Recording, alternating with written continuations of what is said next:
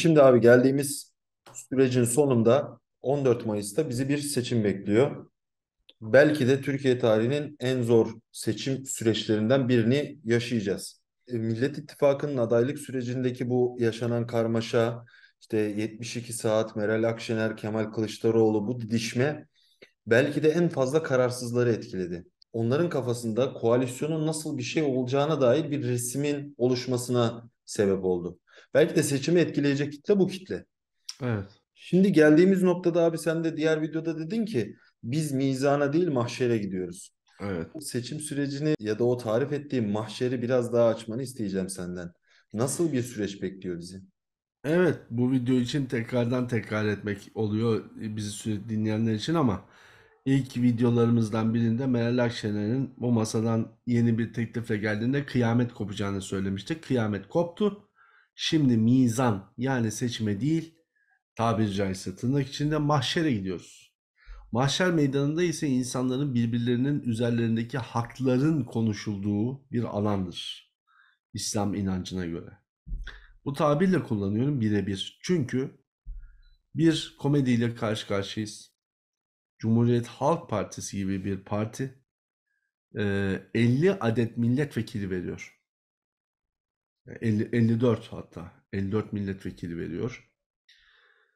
Ve günün sonunda 15 Mayıs sabahında oluşacak meclis aritmetiğinde artık yedili bir koalisyonla yani 6 e, artı bir HDP'nin destek verip vermeyeceği hala gitler geller mevzu bahis ama kesinlikle bir yerinden 6,5 olacak ve bu matematikte insanlar parlamenter rejime, parlamenter yönetim biçimine güçlendirilmiş iddiasıyla geçmeye çalışacaklar. Kesinlikle ve katiyetle bu mümkün değil. Bunu baştan söylemek lazım. Bunu bugün açık açık söylemek lazım. Parlamenter rejime geçilmediği andan itibaren de kısa bir sürede geçeceklerini söylemene rağmen hala süre belli değil. Ee, Ekrem Bey'in ve Mansur Bey'in de Cumhurbaşkanı yardımcısı olmak için belediye başkanlıklarının bitiş süreçleri beklenecek. O da ucu, ucu açık bir süreç. Onlar da geldiğinde 7 tane Cumhurbaşkanı yardımcısı değil, koalisyon. Yedili bir koalisyon. Bir de bakanlar kurulumuz var. Dolayısıyla şimdi o mahşere gidiyoruz. Mahşer ne? Seçim öncesinde hangi ilden listeye kim yazılacak? Birisi diyecek ki ben 30 yılımı CHP'ye verdim. Ömrümü CHP'ye adadım.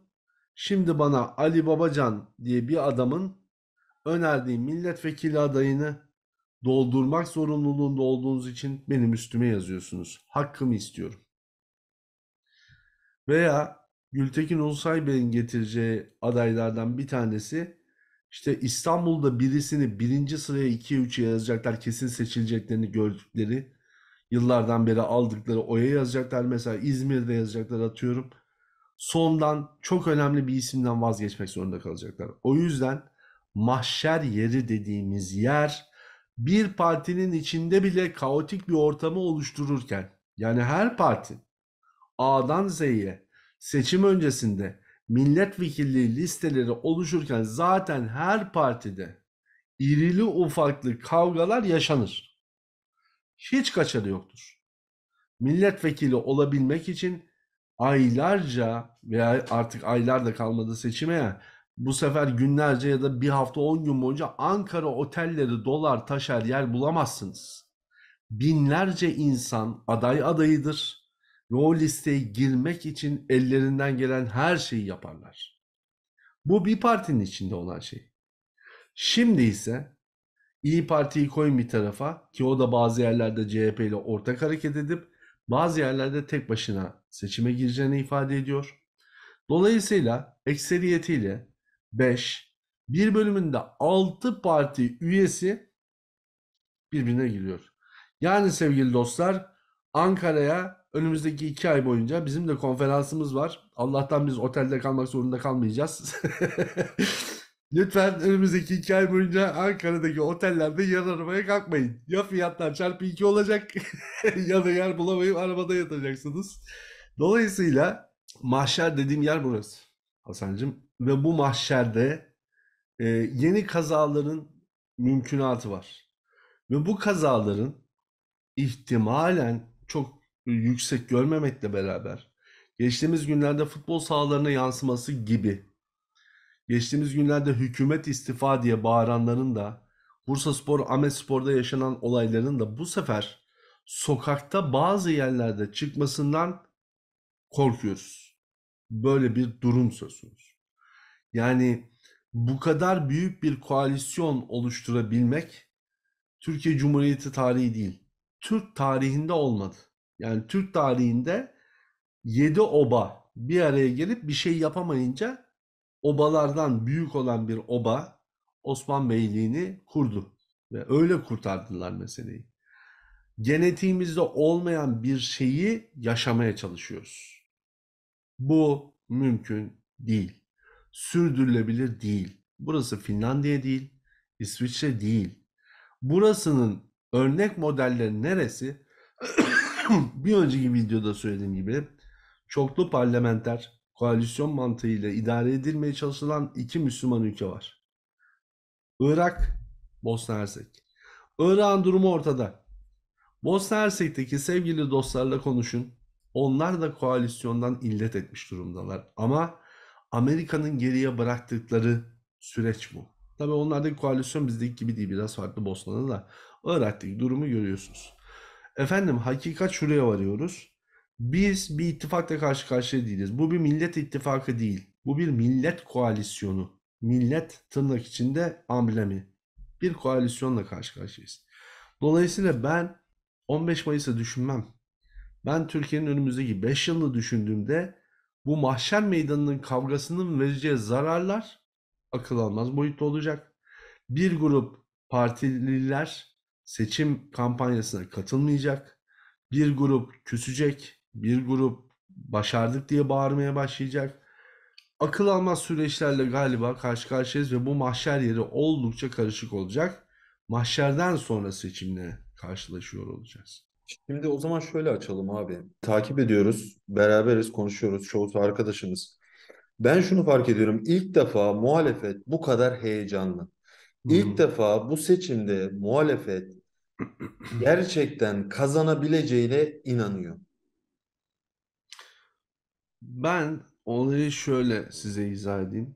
Ya da ben de muhalif kanattaki arkadaşlarımla muhabbet ederken şunu söyleyeyim.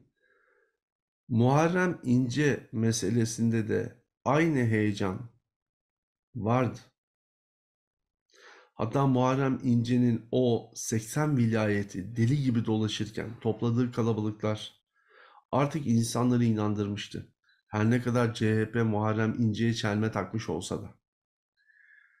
Çünkü insanların odaklandığı yer gündeliktir. Biz güncel olana takılmıyoruz. Ve o gündelik heyecanı yaşıyoruz şu anda. Yaşıyorlar şu anda. Ben şu anda ne gündelik bir üzüntüm var ne de gündelik bir heyecanım var. Yarına ait bir üzüntüm var ya da yarına ait bir heyecanım var. Şimdi bu hakikat bize şunu gösteriyor ne yazık ki. Bir güncel hesapla gidilen bu seçimde bu heyecanın seçim yaklaştıkça pragmatist düşünceye dayalı gençlerimizin arasındaki isimlerin yavaş yavaş düşünmeye başlayacaklarını fark edeceğiz. Neyi düşünecekler? Kemalistim, Atatürkçüyüm, şu an Saadet'in milletvekilliği olması için oy veriyorum. Ve bu adamın ömrü billah yani şu anki durumdan bakarsanız millet meclise girme ihtimali yok. Ahmet Davutoğlu, Ali Babacan, Demokrat Parti bunların meclise girme ihtimali yok. Ama Bunların abi hepsini topladığınızda iktidar nefreti daha ağır basmıyor mu? Yani bunu düşün, nasıl düşünecek ki Kemalist bir genç? Şimdi şöyle düşüneceksiniz. Bir CHP'li olarak şöyle düşüneceksiniz. Gerçek, Kemalist, laik bir CHP'li bir televizyon kanalında ya da YouTube'da Muharrem İnce Beyefendi ile karşılaşacak. O size eski duygularınızı hatırlatacak. Ve bana göre önemli bir argüman. Önemli bir isim. Argüman demeyeyim özür dilerim. Önemli bir isim. Ve Muharrem İnce'yi daha önceki videoda da söyledim. Oğuzhan Uğur bayağı bir beğendiğini ifade edince Twitter'da hem Fatih Altaylı'nın hem Oğuzhan Uğur'un yapmış olduğu botun dibi olan bir anketin sonucu da olsa Muharrem İnce CHP'nin köklü insanları için bir çıkar yoldur. Ne anlamda bir çıkar yoldur? Şudur. Kardeşim bu ülkede siyasi olarak adım adım kaybetse bile küçük küçük büyüyerek gelmiş, insanları sokak sokak ikna etmiş, insanların gönlüne girmiş ve bir gün mecliste başbakan olmuş bir Necmettin Erbakan var. Ama geçenlerde bir yerde de ifade ettiğim bir hakikat var. Necmettin Erbakan'ı Türk siyasetinde bütün dünyada Osmanlı tarihi ve Türkiye Cumhuriyeti tarihinde bir arada tutarsanız kendisinden hariç kendi elinden iki cumhurbaşkanı yetiştirmiş tek isim. Bu cumhurbaşkanlarını beğenirsiniz, beğenmezsiniz. Öyle dersiniz, böyle dersiniz. Orası beni hiç ilgilendirmez. Ama Türk tarihinde iki padişah yetiştirmiş Lala bile yok. Ama bir zat geldi, ömrünü harcadı, insanları kazandı, adım adım kazandı, meyhaneyi de kazandı, bilmem nereyi de kazandı. Hepsini geçtim. İki tane cumhurbaşkanı yetiştirdi. Cumhuriyet Halk Partisi ise veya şu anki sağ cenahta MHP ise AK Parti ise henüz ortada şu ana kadar bizim gördüğümüz adedince böyle yetişmiş insan profiline sahip değil. Şimdi efendim dolayısıyla CHP'nin karşısında şu anda Muharrem İnce var. Yani CHP'nin içerisindeki idealist bir kitlenin dönüp de ya arkadaş Muharrem bu seçimde de birinci olamaz ama ya ben CHP'liyim ya. Ben ben Sivas katliamında yaşandığı yerdeki Temel Karamollaoğlu'na onun dünya görüşüyle söylüyorum. Ben oy veremem diyecek bir insan grubu var. Bu bir. İki, bu seçimin kesin kaybedenlerin başında Saadet Partisi var. Yani artık adam dünya medyasına bile çıktı. Muharrem İnce peki Millet İttifakı'na dahil olur mu? Böyle bir ihtimal Heh? İşte böyle bir ihtimal şu sabah itibariyle konuşuluyor. Bunun sebebi de benim bu anlattıklarım. Millet İttifakı'na katılması için şu anda Kemal Beyler vesaire CHP'lilerin o üst kadrosu var ya böyle hani yalvarmaya hazır pozisyondalar. Çünkü bu gerçeği sadece ben görmüş olamam. Bu gerçeği onlar da görüyor. Niye görüyor biliyor musunuz? Saadet Partisi'nin önünde gruplar toplandı değil mi? İyi Partili üyeler. Orada halk yoktu bu arada. Bunu bir e, medyanın artık son iki ay boyunca medya ne hale gelecek onu görmek bile istemiyorum ama gözümüzün önüne geliyor. Her iki cenahta da garip şeyleri seyredeceğiz. İyi Parti, e, Saadet Partisi'nin önünde Cumhurbaşkanı adayı Kemal Kılıçdaroğlu açıklanacakken bulunan kitle halk değil. Onlar her partinin kendi il ilçe teşkilatlarından hadi gelin dedikleri bir kitledir.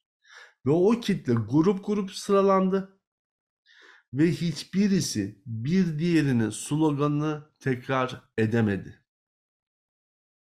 Kavga edilmediler. Ama gruplar şaşkın. Bir tanesi Türkiye layıktır, layık kalacak diye bağırıyor. Diğer üç adayın zaten henüz meydanlarda söyleyecek bir şeyi bile yok, sloganı bile yok. Bir grup hak, hukuk, adalet diye bağırıyor. Bir grubu Meral Hanım'ın taraftarları bağırıyor. Sonra en son Kemal Bey konuşma yaparken bir şeyler söylenmeye başladı ve Kemal Bey yani beraat kandilini kutlayarak başladığı bir konuşma var. Ve e, çok özür dileyerek söyleyeceğim. Çünkü bunu söylemek artık herhalde boynumun borcu olur. Çok uzun yıllar önce e, Temel Karamollaoğlu Saadet Partisi'nin başına geçtiği gün 30 seneden fazla Erbakan'a hizmet etmiş olan kıymetli bir isim bana şunu söylemişti. Bir vesileyle. Saadet Partisi bitmiştir. Nedenleri bende kalsın başka bir video başka bir gün belki konuşmayız bile geçelim. Şimdi o grubunda ciddi bir bakın CHP tabanıyla Saadet Partisi'nin tabanı arasındaki farklılaşmanın karşılıkları var. Biri ne dedik? Muharrem İnce. Bir diğeri ise Fatih Erbakan. Yani bugün Saadet Partisi'ne ya ben elimle bir oy vereceğim. Bu verdiğim oy Necmettin Erbakan'ın eee, karşısında her şeyi yapmış olan bir adama davamızın tam karşısındaki bir adama oy veriyorum. Ne için? Bir şeyden kurtulmak için. Halbuki Saadet Partisi zihniyeti de CHP'nin zihniyeti de bir şeyden kurtulmak için bir şeyi seçen değil. Seçenek ortaya çıkaran adamlar değiller miydi? Yani Mustafa Kemal Atatürk. Değil mi? Seçenek oluşturan adam diye anlatmadınız mı bu ülkeyi? Ki o noktada da bir şey anlatmak isteyeceğim. Müsaade olursa. Ve hakikat Saadet Partisi'nin önündeki kardeşlerimizin de önünde, bu arada CHP'liler de benim kardeşim, sıkıntı yok. Onların önünde Fatih Erbakan gibi bir isim var. Gelelim Demokrat Parti'ye. Buraya oy veren insanların kim olduğunu herkesce malumdur. Zamanında Üstad Said Nursi Hazretleri'nin Demokrat Parti'ye oy vermiş olması karşılığında Risale-i Nur cemaatinin bir bölümünün verdiği bir oy var. Kıymetlidir, doğrudur, yanlıştır, haddimiz değil. Hiçbir şey söyleyemeyiz. Ama bu kardeşlerimiz de bu sefer şunu düşünmeyecekler mi? Sual ediyorum. Ya bizim liderimizin, bizim önderimizin, bizim hocamızın ömrünü hapishanelerde geçirten zihniyete oy vermeyin diyoruz. Ya biz hani bu sefer gitmesek mi diye bir duygu oluşabilir. Ahmet Davutoğlu ile Ali Babacan'ınsa zaten ortada gezen rakamlarla bir ilişkisi yok. Onların alınmasının sebepleri Amerika Birleşik Devletleri'nin çoklu koalisyon talebidir. Keşke, tırnak içinde söylüyorum, keşke Amerika Birleşik Devletleri CHP'yi tek başına iktidar isteseydi. İnanın bana bu Cumhuriyet Halk Partililer içinde Recep Tayyip Erdoğan'ı istemiyorum diyen güncel hayatın gereklerini ortaya koyan gençlik içinde çok daha pragmatist bir sonuç doğurabilirdi. Dolayısıyla burada da bir ince nokta söyleyeceğim. O da şu. Mustafa Kemal, Atatürk, İttihat ve Terakki'deki özgürlük anlayışı, çoğulculuk anlayışı ile Cumhurbaşkanlığına kadarki sürecini böyle getirmiş bir isim değil mi? Yani padişah değil, beraberce oturmalıyız, beraberce konuşmalıyız, beraberce karar vermeliyiz diyen bir isim mi? Evet, komutanlığının yanında bir de Cumhurbaşkanlığı var. Ancak bu isim 15 yıl boyunca, işte 14-15 yıl boyunca yani vefat edene kadar ölümüyle biten süreye kadar Cumhurbaşkanlığını bıraktırılmamış bir isimdir. Ama aynı Mustafa Kemal o istişareyi akşamları kendi masasında yapmıştır. Yani Kemal Kılıçdaroğlu Amerika'nın istediği şekliyle değil, şöyle bir şey olsaydı, akşamdan akşama bu altı isimle buluşsaydı da gerçek bir ittifakta kendi bakanlar kuruluyla çıksaydı, bu sefer ona oy verecek insanların gönlünü daha da ferahlatırdı. Başka sonuçlar doğurabilir bu. Kazanıp kazanmamasından bahsetmiyorum. Bu istişare olurdu. Bu istişareden çıkacak. Bu müzakereye gidecek. Bu ülkenin kurucu isimlerinden olan Mustafa Kemal Atatürk dahi bu ülkenin ittifak ile değil dirayetle yönetilebileceğini iyi bildiği için ülkenin kodlarını Trablus'ta, Lübnan'da okuyan bir isim olduğu için bizim genetiğimizde olan lidere, beraberliğe olan, liderde beraberliği olan inancı iyi bildiği için kendisi dahi yanına ikinci bir isim sayabilir misiniz? Hayır. Tek başına yönetti ülkeyi. İtirazı olan var mı? Bu ülkeyi tek başına yönetti. Eksiler, artılar ayrı konu. Tayyip Erdoğan, eksiler, artılar ayrı konu. Kemal herkes için söylüyorum. Bu ülkeyi Recep çok Tayyip Erdoğan.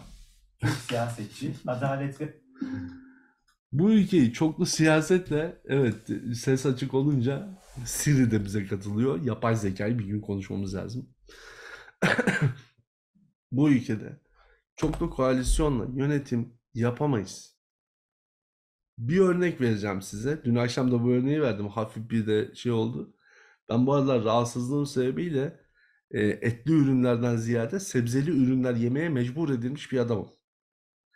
Dün akşam da affedersiniz bizim sofrada Şevketi Bostan vardı. Hayatımda yememişim.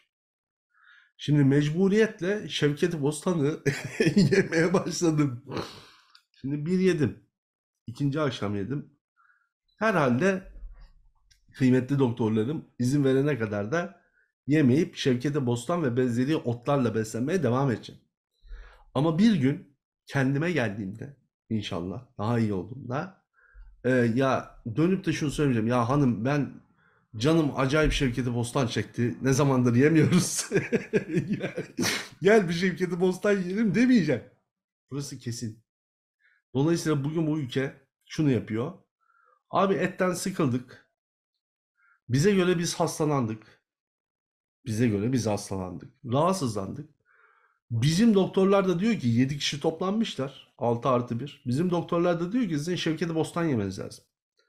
Hoş benim doktorlarımla onları kıyas etmek anlamında söylemiyorum da tabiri caizse. Bir gün yersin kardeş. Ama senin genetiğinde et var et. Sen etle büyümüş bir adamsın.